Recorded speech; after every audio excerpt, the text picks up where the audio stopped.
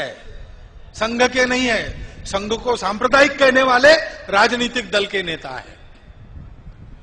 उन्होंने मुझे पूछा कि भागवत साहब, आप लोग सच्चर कमेटी का विरोध क्यों करते हैं? अरे देखिए, भारत के सबके सब मुसलमान हिंदू हैं। कोई अरबस्तान से आया नहीं।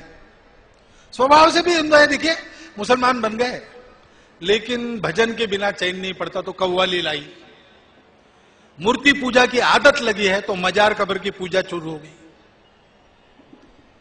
अब उसको अगर ये समझ में आ जाए भारत के मुसलमान को कि हमारी केवल पूजा पद्धति बदली है, वैसे तो हम हिंदू ही है, हिंदू पूर्वजों के वंशज है और हिंदू संस्कृति की विरासत है। हिंदू स्वभाव ही हमको मिला है तो सारा झगड़ा खत्म हो जाएगा। उसके लिए उनको शिक्षा देनी चाहिए और शिक्षा के लिए सच्चर कमेटी चाहिए। तो आप विरोध क्यों करते हैं? मैंने उसको कहा कि महाराज, आपकी सब बात मुझे पूरी मंजूर है, लेकिन आप ये मुझे मत बताओ। आप ये सब अपने देश के मुसलमानों को समझाओ। जिस दिन वो आपकी बात मान जाएँगे, उस दिन हम सच्चर कमेटी का विरोध करने वाला हमारा प्रस्ताव